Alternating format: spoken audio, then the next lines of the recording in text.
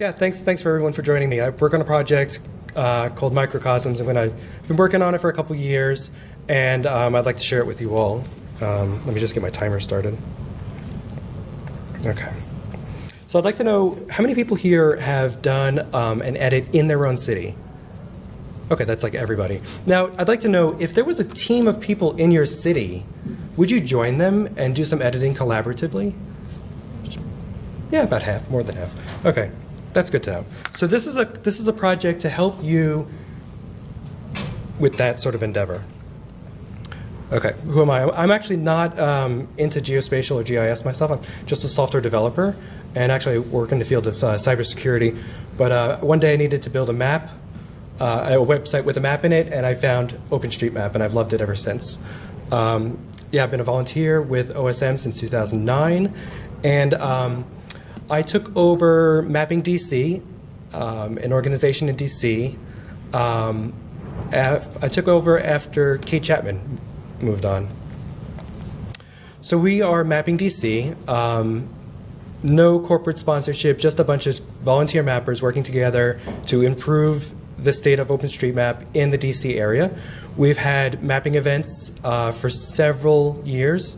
Um, we we do on the street mapping, like we get together with clipboards and printouts from field papers um, or walking papers way back in the day.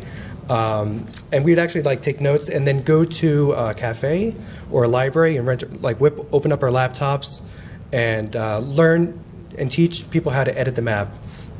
Um, these days, um, much of the, the geometry is already there, and we're doing more attributes of the POIs so these days it's more um, mobile mapping with Street Complete or Go, Go Map or Vespucci.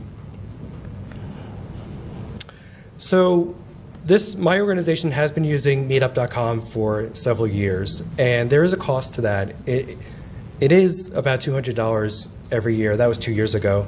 And the prices have been going up. Um, it's it's a mixed blessing. You know, uh, how many people are are on Meetup.com? Okay, so you know what it's like.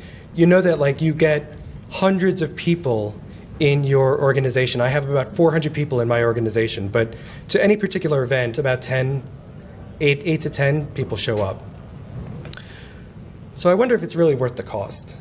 And I'm thinking about a better way to do this. Like, is there a better way to support your local community by using osm.org? Like, build this functionality into osm.org. And so that's, that's what I've been working on. Um, the meetup does, as I said, it does have some good advantages. It'll get your, your events publicized very well. You'll find other GIS people. But when they come to your event, um, they, they didn't really expect to do any work. Like, they're like, you want me to do what? Like, I have to capture all this data? So you're not finding the right people. Um, they don't often return. So I often say, like, these are not the mappers you're looking for. Um, this is the type of person that we're looking for. Uh, this is an edit that I found in the local area just a couple days ago. And uh, Greg Map 1 is adding residential features such as houses, mobile homes, and garages, etc. Um, and I look him up, and he's got over 4,000 edits. This is the type of people who I'd like to support. There are people in your cities already doing tons of mapping. And these are the people who I want to connect with, uh, build a community around, and support their efforts. so this is what I just said. Sorry. Um, I have this highly scientific survey that I've done. Um, the, the, the number of returning people who are just normal mappers are, is much, much greater than if you were uh, from meetup.com. So I've been working on a project called Microcosms. Now, I'll do a little side quest here. I'll tell you a little history. Um, I built Microcosm app as a side project, and I shared it with uh, Andy Allen, who was here at State of the Map US two years ago in Colorado, and I was just you know chit chatting with him about this uh, about this app, and he's like, no, no, no, this is this has got to go in OSM.org. This has got to be like mainline, like proper feature in OSM.org. So I took that and I started like I, I forked I forked the project, I created my own branch, and I started adding all the functionality in there. Um, that was pre-pandemic, and now I'll be honest, like this whole this whole project has been on hiatus due to the pandemic. I've got two young kids, and you know it's been tough. So uh, I'm, I'm excited to get back into it now, and we're going to get this thing merged into OSM.org. Um,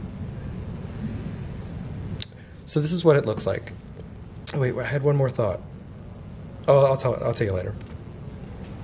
So it's a new top-level navigation item called Microcosms. And events, is events there too? Yeah. Good. Events is also there. That's like a little side benefit. Um, microcosms is um, literally like if you if you look at the word, it means small world. Cosm meaning meaning world, and micro obviously meaning small. Um, it's to support your local communities. Now, I'm not talking about like the US chapter, I'm talking like city level or lower level. And I'm also thinking about non geographic areas. So, like a microcosm could be a, a group of people who have a, a similar interest in um, supporting the, the, pride, like gay pride, or you know, people who support uh, railroad, you know, rails to trails projects, nationwide projects, but specific in interest.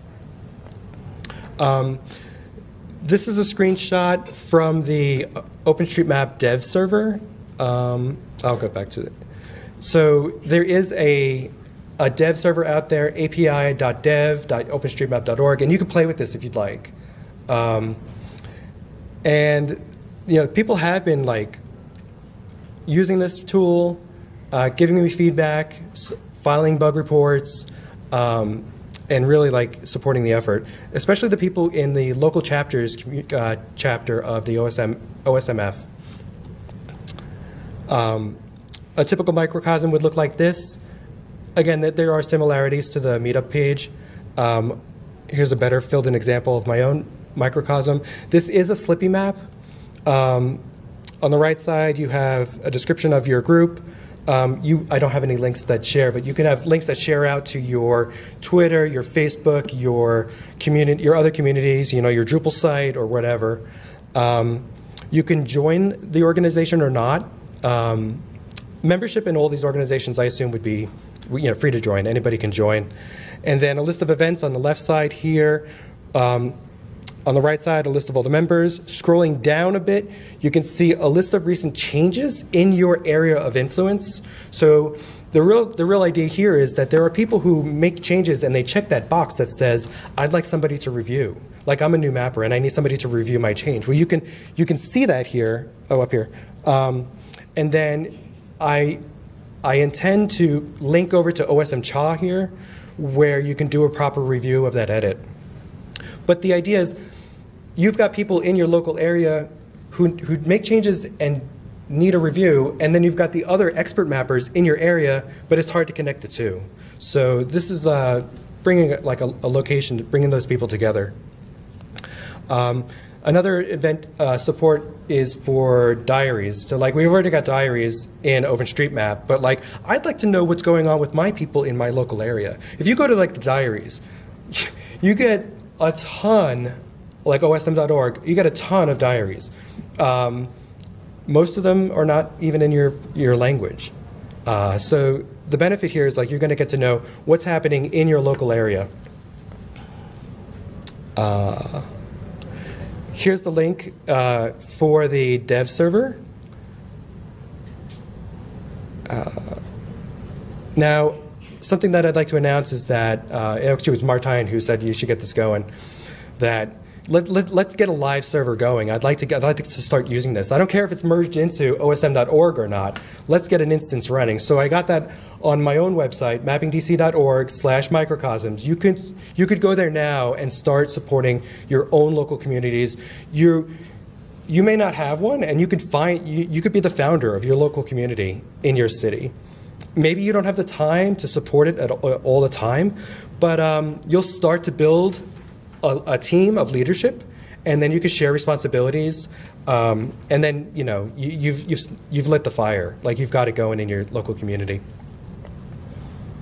in fact, um, there are three groups who are already using this: Michigan, Utah, and I think Des Moines. So there are some next steps. So what's done so far? I had to draw a line in the sand about what's 1.0 and what's going to be 2.0. The the feature, the merge request into OSM.org, it was too big. It was like it's just really too big. It's too much of an effort. And um, Andy Andy Allen and uh, Tom, what's Tom's last name? Hughes. Tom Hughes. Um, they said you got to break it up and make it smaller. So I'm working on that now. Um, uh, yeah, I'm going to skip that for now. So here are some future ideas. Um, there's on that Slippy map for your area. What I'd like to do is not just display the map itself, but what activity is happening in your area. What events have happened? What events are coming to happen? Where you know, where are they? Um, people have change sets that need review. Where are they? Like I know the Virginia part of the DC area better, so I'm going to focus on those and I'm going to review those change sets. Um, so it's going to be like an activity map. What else do I have here? Um, Ian is here. Ian, I think you, you mentioned badges. I think this is a great idea. Um, badges for people in your community. Um, let's see what else. Oh, I had an idea, like going back to the Foursquare idea, like where there was like you could become a mayor of an area. You could become like the, the lead expert of the the five like five or so blocks around your neighborhood, around your house. Um, adopting a street or integrating with this new website, community.openstreetmap.org, which was what just announced a week ago, two weeks ago. You know, so this could be whereas Open, OpenStreetMap.org can organize your events and the activities of your hub. It, for ongoing discussions, you would, you would integrate with community.openstreetmap.org. Um, other future ideas in terms of quality assurance. I'm a big fan of quality assurance. Um, there are all sorts of activities that you can integrate with at this local level. Um, you, like for, for DC, we have a project where we got city data of all the bike lane data like what streets have good bike lanes, dedicated bike lanes, shared with the shared with the cars, and so we went through that data line by line. It probably should have been a, a, a MapRoulette task. I'm sorry, um, but we like it was a good project. It was a side project where we just went through that data uh, feature for feature, and then of course integrating with KeepRight. Um, there are more future ideas. I'm going to skip this. Um, and thank you. I'm on all these sites. I'm Open Brian. And uh, also tomorrow I'm organizing a talk about community, uh, organizing your local communities like microcosm, uh, Mapping DC. Cool, so thank you.